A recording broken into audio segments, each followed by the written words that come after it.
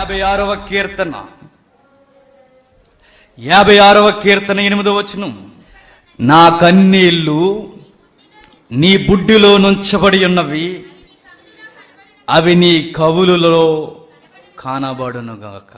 చూడండి ఏమంటున్నాడు. కన్నీళ్ళని దేవుడు ఏం చేస్తాడట? దాస్తాడట. బాటిల్స్లో ఆయన భద్రం చేస్తాడట. కన్నీళ్ళకి దేవుడు చాలా ఇలువనిస్తాడట. ఏడ్చే వాళ్ళని చూసి దేవుడు చాలా దృష్టి కేంద్రీకరించి చూస్తాడట. ఆ కన్నీళ్ళు కూడా భద్రం చేసి ఎంత ఏడ్చావో రాసుకుంటాడట. మనం ఎప్పుడన్నా ఏడుస్తామా ధారాళంగా చెప్పండి. ఒక గ్లాస్ ఏడిసామా స్పూన్ కూడా ఏడవడం స్పూను. డ్రాపులు పోలియో డ్రాపులు వేస్తారు చూసారు అలా ఏడుస్తాం మనం. టిక్కు టిక్కు మన రెండు పడతాయి అన్నమాట చాలే అన్నట్టుగా ఎవరన్నా ఇయే ఎక్కువ అన్నట్టు. కానీ విచిత్రం ఏంటో చెప్పండి. ఒక రోజు నేను అనుకుంటా నీకు వచ్చిన చదువుతున్నప్పుడు ఏడ్చే వాళ్ళందరూ బాటిల్స్ ఆ రోజు ఆ ఎవెన్లో తీసుకొచ్చాడు అనుకోండి పరలోకంలో. మనకు బాటిల్ ఉండదు. అయ్యో రెండు చుక్కలు ఆ వారిన పడ్డది చూడండి ఆయన అంటారు అక్కడ ఏడ్చే వాళ్ళు అందరూ భద్రం చేయబడ్డాయట డాక్యుమెంట్స్లో రాశారట. వాళ్ళు అందరూ ఆ రోజు ఆ డెమో ఇచ్చినట్టు అలా ముందుకు వచ్చేసరికి నాదేదంటే ఎంటీ బాటిల్ ఇస్తారు మన చేతికి. ఆ రోజు ఏడుద్దామన్నా ఏమి? ఉండదు అక్కడ కన్నీళ్ళు ఉండవు.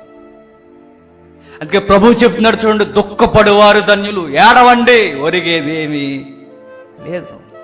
మీ జీవితంలో మీరు ఓడిపోయేదేమీ కాదు. మీరు ఏడవండి ఏడవండి ఏడవండి. ఏడ్చేవారు ధన్యులు. ఏడవడం ఎలా ధన్యత అంటే నీ కన్నీళ్ళు కూడా దాస్తాడు. నీ రిక్వెస్ట్ మీద దేవుడు చాలా మమేకాన్ని పెంచుకుంటాడు.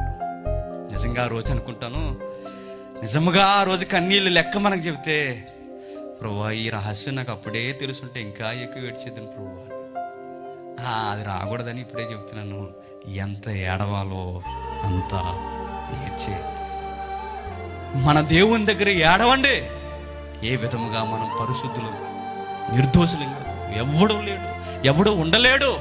కానీ ప్రభు మనకిచ్చిన గొప్ప గిఫ్ట్ ఏంటంటే ఆయన మరలా నూతన జీవితాన్ని ఇచ్చి నిలబెట్టాడు. ఇప్పుడు మనం ధైర్యవంతులు నిజముగా చూడండి క్రీస్తులోకి వచ్చినా కానీ మన సూపులు మనం మాట్లాడు క్రీస్తులోకి వచ్చినా కానీ మన మనసు మాట్లాడు ఇంతగా మన జీవితం రోజు రోజుకి విరుద్ధంగా ఉన్నప్పుడు మనం పాపం లేనివారని చెప్పుకునే ధైర్యం మనకి ఎక్కడ ఉంది అందుకే రోజు మనం చేయాల్సిన పని ఏంటో చెప్పిన? ఏడవడమే ఏడవడమే. కడుగు తండ్రి నీ కుమారుని యొక్క రక్తం చేత కడుగు దేవా అని ఏడవడమే. విచిత్రం ఏంటి చెప్పిన? యవనస్తులు ఎందుకు ఏడుస్తారు? జాబు రాలేదని ఏడుస్తారు. ఎందుకు ఏడుస్తారు? పెళ్ళి అవ్వలేదని ఏడుస్తారు. ఎందుకు ఏడుస్తారు? భవిష్యత్తు ఎట్టు ఎలా అయిపోయిందని ఏడుస్తారు. ఈ యవనస్తుడు ఎందుకు ఏడుస్తున్నట్ట దేవుని కొరకు ఏడుస్తున్నాడు. దేవుని కొరకు దేవుని ముంగిట దేవుని సన్నిధిలో ఏడుస్తున్నాడట. ఆ కన్నీళ్ళు చూసి ఈ ఆత్మీయ తండ్రి ఏమవుతున్నాడు? ఆనందపడిపోతున్నాడట.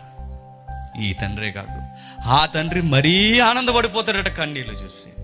ఎంత ప్రేమిస్తున్నావయ్యా? ప్రేమకు గుర్తేంటయ్యా అంటే బైబిల్ ఇస్తున్న ఒక భరోసా ఏడవడం ఆయన కూర్చి మనం ఏడవడమే నన్ను విడిచిపోవద్దని ఏడవడమే నన్ను రక్షించని ఏడవడమే నన్ను కడుగు అని ఏడవడమే నన్ను శుద్ధనిగా చేయని ఏడవడమే మన పాపాలు క్షమించమని